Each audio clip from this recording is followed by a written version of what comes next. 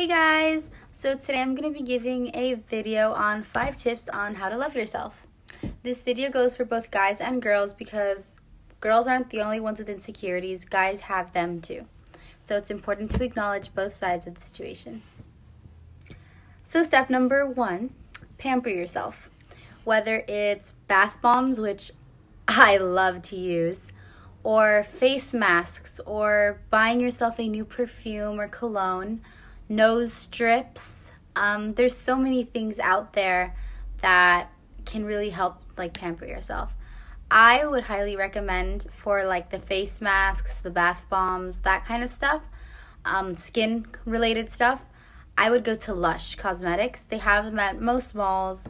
Um, they have an online website. I highly recommend their products because I myself have used them and they're amazing. Step number two don't focus on how you look on camera because I think we've all been there when you look in the mirror and you're like, I look really good today. And then you take pictures or people take pictures of you and you're just like, I thought I looked good, you know? Like, it's just cameras just take, mm, cameras just capture one tiny second. They don't capture the way you move, the way you talk, the way you breathe, that sounds a little creepy. That's not what I meant. But they don't capture the beauty of you, like your physicality. They don't capture that. They just capture a single second in your life. Step number three is one that I am known to struggle with. I think people, I think a few people who are really close to me know that I'm bad at this. And it's learn to take compliments. Um, if someone's like, hey, you're really cute hey, you're really pretty. Don't just be like, are you sure? Like, no, don't question that kind of stuff. Because if somebody, well, somebody wouldn't say it if they didn't actually see it. And I know you guys might be thinking, like, oh, they're just trying to be nice. They're trying not to hurt my feelings. But no, and people are being genuine. And you need to learn to, like, just say, thank you. I really appreciate it. Stuff like that. the funny thing I do is when people give me compliments, um, I tend to just smile people will be like, oh my God, you're so pretty. And I'm just like, awkwardly. But yeah, it's very important for you to just learn to accept what people are telling you.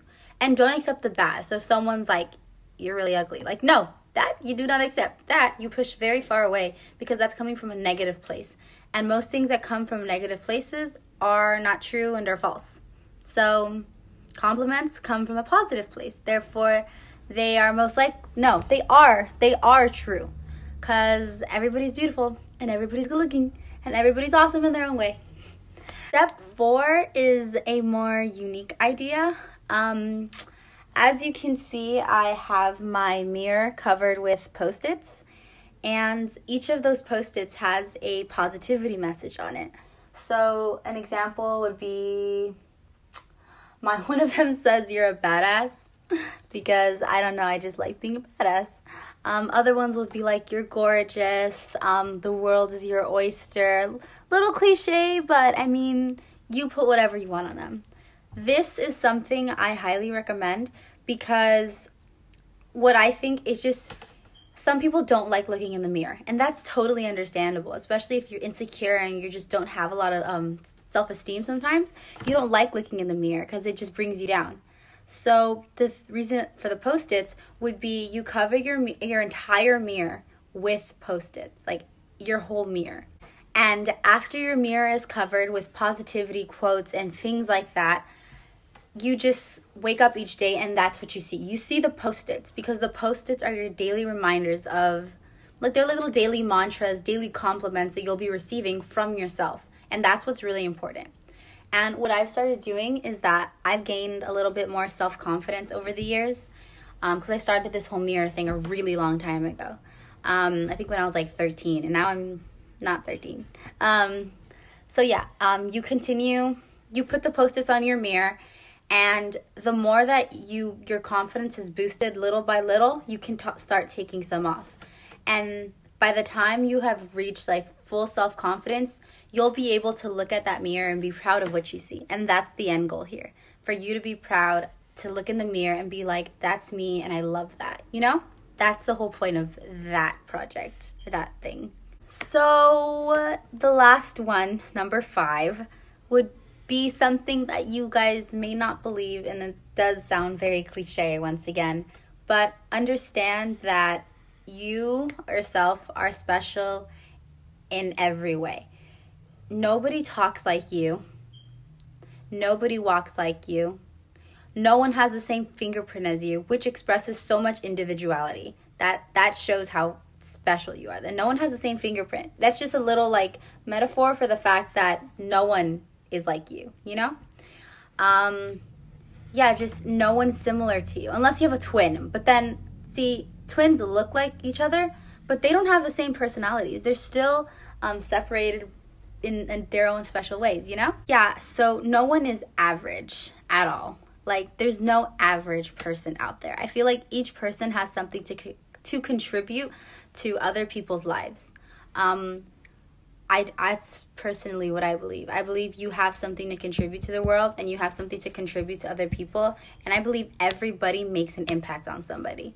Whether it's on a child, on a parent, on a loved one, on someone special you meet, you impact someone's life in a really big way everywhere you go, you make an impact. And that's what's important. And you need to know that you're special and that God loves you. Although some may not believe in God, which is totally understandable. It's just my belief, you know? It's just me. But there are people that surround you that love you and you have a great support system even though you may not think so. So just surround yourself by love and happiness and confidence and yeah. I hope these tips helped. Um I'm not, well, I try to be good with advice. Um, sometimes I may not be the best at it because I get really nervous, and especially the, fact that I'm on camera, so I get even more nervous. But I really hope to help, and I really hope that whoever sees this takes this to heart and understands, you know, what I'm saying. Um, so, yeah, I hope you all have a great day, and please trust these tips. Trust me, they will come in handy. And a little extra one that most people actually do have this keep a diary. Write things down. Write down your emotions. Write down how you're feeling. It express it takes away a lot of anxiety, and that's really helpful. To self confidence. I have to burp. Okay, I, it went away. Um, yeah. So I hope you guys enjoyed this video, and I have you guys have. I hope you guys have an amazing day.